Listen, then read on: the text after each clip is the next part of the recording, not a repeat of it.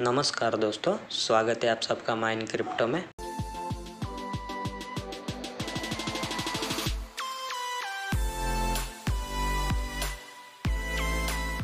दोस्तों, मेरी जो प्रीवियस वीडियो थी, उसमें मैंने आपको बताया था सिद्रा बैंक की केवाईसी कैसे करनी है।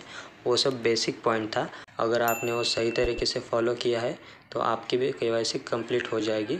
मैंने जो केवाईसी की थी वो प्रोसेसिंग में गई थी। लगभग तीन दिन के बाद मेरा ये अनकम्प्लीट का साइन आया है।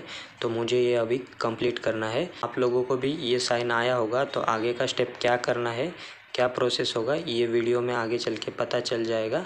बस वीडियो को विदाउट स्किप किए एंड तक देखना है। कुछ भी डाउट हो तो कमेंट करके ज़रूर पूछ लेना। तो चलिए वीडियो को स्टार्ट करते सबसे पहले आपको क्या करना है, अगर आपके पास भी अनकम्प्लीट का साइन आया है तो आपको उस पर क्लिक करना है। जिसका नहीं आया है, उसको अभी वेट करना है। और जिन लोगों का आया है, ये अनकम्प्लीट का साइन, ये रेड कलर में दिख रहा है नीचे, उस पर आपको क्लिक करना है। क्लिक करने के बाद दोस्तों, हमने जो वहाँ पे सिलेक्ट किया था, जैसे अपना डॉक्यूमेंट दिया था ऑदर्स में या फिर पर्सनल आईडी में, ड्राइविंग लाइसेंस में, वो यहाँ पे शो करेगा जो डॉक्यूमेंट टाइप में हमने सिलेक्ट किया था। मैंने ऑदर्स में किया था और मेरी कंट्री वगैरह मैंने सिलेक्ट किया तो मुझे वो सब यहाँ पे शो करेगा। आपको चेक करना है सेम वही है। अगर सेम वही नहीं है तो आपको फिर से एक बार अप्लाई करना है। ये सब चेक करने के बाद थोड़ा सा स्क्रॉल करके ऊपर चलते हैं। स्क्रॉल करने के बाद दोस्तों, आपको ये शो करेगा आपके डॉक्यूमेंट की फ्रंट साइड और बैक साइड इसको आपको चेक करना है, ये परफेक्ट है। अगर ये परफेक्ट नहीं है तो ये जो डिलीट का ऑप्शन है, उसको आप डिलीट करके फिर से अप्लाई कर सकते हो के के लिए। बट ये जो बैक साइड है, ये ऑप्शनल है तो इसको मैं डिलीट करूँगा तो भी मुझे कोई प्रॉब्लम नहीं होगा। जो फ्रंट साइट है, वो वेरी इंपॉर्टेंट होगी, इसलिए उसको डिलीट नहीं कर सकते हम। अगर गलत है तो हम चेंज कर सकते हैं, फिर से अप्लाई कर सकते हैं। ये सब चेक करने के बाद दोस्तों, फिर से आपको थोड़ा सा स्क्रॉल अप करना है। स्क्रॉल अप करने के बाद दोस्तों, आपके सामने आपके डॉक्यूमेंट का डाटा शो करेगा। आपको चेक करना है, इसमें कुछ टेक्स ऐड किए होंगे, उसको आपको डिलीट करना है। मैं आपको दिखाऊँगा क्या डिलीट करना है, क्या रखना है। यहाँ देख सकते हो दोस्तों, ये जो आईडी नंबर दिखाया मेरा, यहाँ पे लिखा है गवर्नमेंट ऑफ़ इंडिया, बट यहाँ पे इन्होंने गलत टाइप किया है, गवर्नमेंट ऑल इंडिया। ये ऑल का स्पेलिंग ए डबल एल होता है, इन्होंने ओ एल किया है तो मुझे ये ऑल की जगह ऑफ़ करना होगा। तो ये जो एल है, इसको मैं डिलीट करूँगा। और एल की जगह मुझे एफ़ टाइप करना है। ये मिस्टेक जो है, ये करेक्ट करने के बाद आपको कंफर्म करना है। ये देख सकते हो, ऊपर ग्रीन कलर में हमको पॉपअप भी आ गया। नीचे जो दिया है डेट ऑफ़ बर्थ वो ऑलरेडी सिलेक्ट होगा। तो वैसे ही रहने देना है, बस चेक करना है, वो सही है या गलत है। मेरा ऑलरेडी सिलेक्ट नहीं हुआ है। बस यहाँ पे नीचे छोटे से इसमें शो कर रहा है। बट मुझे मेरी date of birth manually type करनी पड़ेगी। दोस्तों डेट ऑफ़ बर्थ सिलेक्ट करने के बाद आपको ये नीचे कंफर्म पे क्लिक करना है। कंफर्म पे क्लिक करने के बाद ऊपर हमारा एक सक्सेसफुल का पॉपअप आ जाएगा। इसको और थोड़ा ऊपर करते हैं।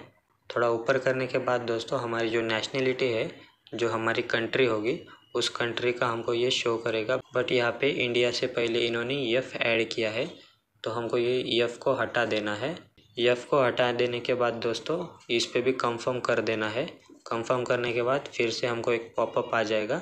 ये पॉपअप आने के बाद हमारा सक्सेसफुल हो जाएगा। जो नीचे अपना फ़ोटो होगा, उस फ़ोटो को चेक करना, अपना ही फ़ोटो है या दूसरे का फ़ोटो है। वो फ़ोटो यही शो करेगा जो आपके आधार कार्ड पे, जो भी डॉक्यूमेंट पे शो होगा फ़ोटो, वही फ़ोटो आपको क्रॉप करके यहाँ पे शो करेगा। बस आपको देखना है, ये सही फ़ोटो है या गलत फ़ोटो है। तो मेरा ये सही फ़ोटो है तो मैं इसको कंफर्म करता हूँ। कंफर्म करने के बाद फिर से मुझे पॉपअप आएगा। अब हमारा फ़ोटो भी सिलेक्ट हो गया है यहाँ पे। थोड़ा ऊपर करने के बाद हमको ये एक्सपायरी डेट और रिलीज़ डेट मांगेगा। अगर आपने आधार कार्ड से के वाई सी किया है तो इंडिया के आधार कार्ड पे एक्सपायरी डेट या फिर रिलीज़ डेट नहीं होती है तो इसको हम ऐसे ही छोड़ देंगे। और हमारे आधार कार्ड पे सिग्नेचर भी नहीं होता है, सिग्नेचर पैन कार्ड पे होता है। अगर पैन कार्ड से करते हो तो ये सब एंटर करना पड़ेगा। आधार कार्ड पे सिग्नेचर नहीं होता है तो आधार कार्ड को भी हम स्किप करेंगे। थोड़ा और ऊपर चलने के बाद दोस्तों, यहाँ पे हमको first name, second name, third name, fourth name सब पूछेगा। तो हमको ये फ़र्स्ट नेम देना ज़रूरी है।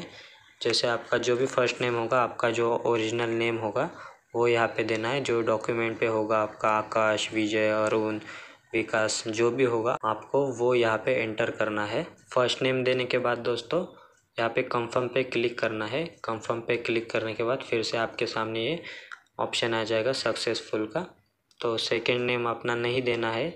आपका अगर सेकेंड नेम होता है तो आप दे सकते हो। ये ऑप्शनल है। इसको हम छोड़ सकते हैं। बट हमारा ये जो नीचे और करेंगे तो देख सकते हो लास्ट नेम है। लास्ट नेम देना ज़रूरी है। तो लास्ट नेम भी हमको देना पड़ेगा। लास्ट नेम देने के बाद दोस्तों, ये नीचे दिया है place of birth place of birth मतलब अपना जन्म स्थान होता है, जहाँ पे आपका जन्म हुआ है। उस स्थान का, जो भी गाँव का होगा सिटी का होगा, उसका नाम यहाँ पे एंटर करना है। ये सब करने के बाद दोस्तों, आपको कंफर्म कर देना है। जितना भी कंफर्म का ऑप्शन आता है बट उससे पहले आपको चेक करना है। आपने जो भी इंफॉर्मेशन दी है, वो सही है या गलत है, एक बार रीचेक कर लेना। तो मैं यहाँ पे कंफर्म कर लेता हूँ। दोस्तों, मैंने कंफर्म करने के बाद मेरा जो सर नेम है, उसमें थोड़ी प्रॉब्लम आ रही थी, क्योंकि इनका जो एआई है, वो मेरा डॉक्यूमेंट पे मेरा सर नेम फाइंड नहीं कर पा रहा था तो उसके वजह से इन्होंने मेरी इमेज है, वो क्रॉप नहीं कर पाया तो अपने को मैन्युअली क्रॉप करना है। आपको क्या करना है, ये जो एडिट इमेज है, यहाँ पे जाना है, और अपना जो सर नेम है, बस उतना ही यहाँ पे क्रॉप करके यहाँ पे सबमिट कर देना है। और उतना ही अपने सर नेम के जितना ही यहाँ पे फ़ोटो आएगा, उतना होने के बाद आपको यहाँ पे कंफर्म कर देना है। मैंने कंफर्म करने के बाद ये देखो, ये मेरा सक्सेसफुल हो गया। ये सब कंफर्म होने के बाद दोस्तों आपको वेट करना है। आपकी जो के है, वो पेंडिंग में जाएगी, कुछ प्रोसेसिंग का टाइम लेगा, उसके बाद आपकी के अप्रूव हो जाएगी। मैंने जो जो स्टेप बताया, वो सब प्रॉपरली फॉलो करना है। कुछ भी मिस्टेक करते हो तो आपका के पेंडिंग में ही रहेगा। या फिर आपको री अप्रूव करना पड़ेगा। आज के लिए इतना ही था दोस्तों। अगर वीडियो पसंद आती है दोस्तों तो वीडियो को एक लाइक करो, चैनल को सब्सक्राइब करो। हम मिलते हैं अगले वीडियो में। तब तक के लिए keep minding and bye bye thank you